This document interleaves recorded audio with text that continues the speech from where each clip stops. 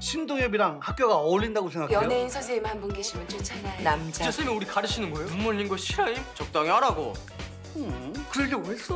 니들도 신동엽이처럼 인생 망치고 싶어? 신동엽 제 이름 석자를 걸고 반드시 책임지겠습니다. 나 뭐 하나만 사주라. 우와, 진짜 사왔어? 아빠, 백설공주가 없어. 좀 찾아봐 주시면 찾아볼게요. 한 번만 더 찾아봐 주시면 그러죠. 정말 바쁘시면 댁에 가서 대신 찾아봐도 될까요? 혹시 책 찾으셨나요? 저기요 진상짓 좀 그만하시죠. 아 재수없다.